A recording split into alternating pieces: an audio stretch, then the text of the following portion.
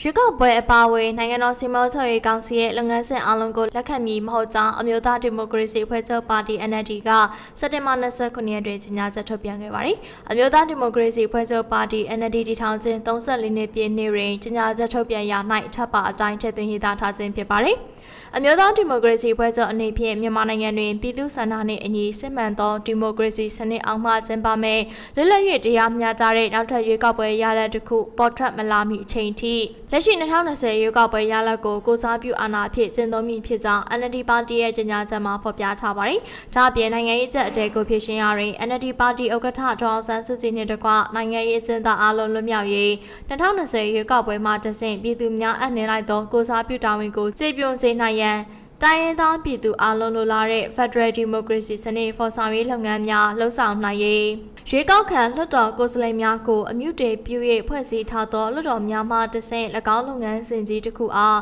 နိုင်ငံရေးတရားဝင်မှုမြင့်တင်ပေးခြင်းဖြင့်နိုင်ငံတကာအတိုင်းဝိုင်းထံမှယခုထက်ပိုမိုအတိမတ်ပြုပူးပေါင်းလာစေရေးတို့ကိုပါတီအနေဖြင့်ဒီဇိုင်းမမတ်စူးစမ်းမည်ဖြစ်ကြောင်းထုတ်ပြန်ချက်မှာဖော်ပြထားပါတယ်။ NLD ပါတီရဲ့ထိပ်ပိုင်းခေါင်းဆောင်များအပါအဝင်ပါတီဝင်များနှင့်လွှတ်တော်ကိုယ်စားလှယ်များကိုဖမ်းဆီးခြင်းနှင့်ပိုင်ဆိုင်မှုများချိတ်ပိတ်သိမ်းဆည်းခြင်းများအပါအဝင် ပါတီရုံးများကိုကျူးကျော်ဝင်ရောက်၍ပါတီပိုင်ပစ္စည်းများသိမ်းဆည်းခြင်းမိရှုဖျက်ဆီးခြင်းများပြုလုပ်ပြီးအမျိုးသားဒီမိုကရေစီဖွဲ့ချုပ်ပါတီကိုအလုံးစုံဖျက်သိမ်းရန်အားထုတ်နေကြောင်း NLD ပါတီရဲ့ကြေညာချက်မှာဖော်ပြထားပါတယ်။ဇူလိုင်26ရက်ကျင်းပတဲ့နိုင်ငံတော်စီမံချက်ရေးကောင်စီသတင်းစာရှင်းလင်းပွဲတွင် NLD ပါတီအနေဖြင့်လက်ရှိတာဝန်ယူဆောင်ရွက်နေတဲ့ UEC ကိုတရားမဝင်ကြောင်း ကျင်းပမြင့်ရွေးကောက်ပွဲကိုလည်း၎င်းတို့အနေဖြင့်လက်မခံနိုင်ဟုထုတ်ပြန်ထားကြောင်း၎င်းထုတ်ပြန်ချက်အပေါ် UEC အနေဖြင့်ညီကဲသို့သဘောထားကြောင်းနှင့် NLD ပါတီရဲ့ထုတ်ပြန်ချက်များဟာဥပဒေနှင့်ညီညွတ်မှုရှိမရှိသုံးသပ်ပေးစေလိုကြောင်းမေးမြန်းခဲ့ပါတယ်။ထို့သို့မေးမြန်းမှုအပေါ်ပြည်အောင်စုရွေးကောက်ပွဲကော်မရှင်အဖွဲ့ဝင်ဦးခင်မောင်ဦးက